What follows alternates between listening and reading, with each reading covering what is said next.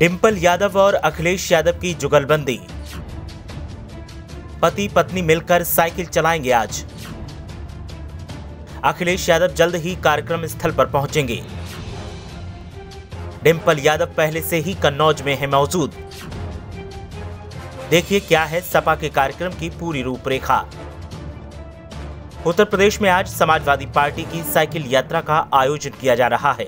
लखनऊ में इसकी शुरुआत खुद समाजवादी पार्टी के राष्ट्रीय अध्यक्ष और पूर्व मुख्यमंत्री अखिलेश यादव करने वाले हैं, जिसके लिए तैयारियाँ पूरी कर ली गई हैं।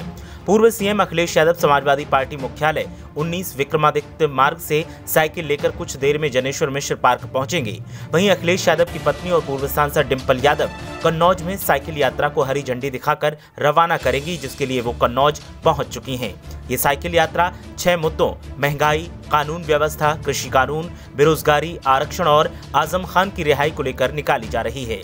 लखनऊ में समाजवादी साइकिल यात्रा पार्टी कार्यालय विक्रमादित्य मार्ग से शुरू होकर लारेटो चौराहा, कालिदास चौराहा जिया मऊ 1090 चौराहा, जयप्रकाश नारायण अंतर्राष्ट्रीय केंद्र, फिरोज कैफ़े, सीएमएस चौराहा, दयाल चौराहा होते हुए साढ़े छह किलोमीटर की दूरी तय करके पार्क पहुंचेगी। जनेश्वर मिश्रा पार्क में अखिलेश यादव जनेश्वर मिश्र की प्रतिमा पर माल्यार्पण करेंगे।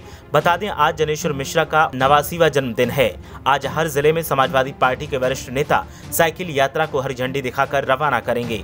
इस संबंध में वरिष्ठ नेताओं को ज़िले का प्रभारी बनाया गया है। उनको जिलों में रहकर यात्रा की कमान संभालने के लिए कहा गया है। कई जिलों में तो साइकिल यात्रा का आगाज़ हो चुका है और कई जगह कुछ देर में साइकिल यात्रा का आगाज़ होगा।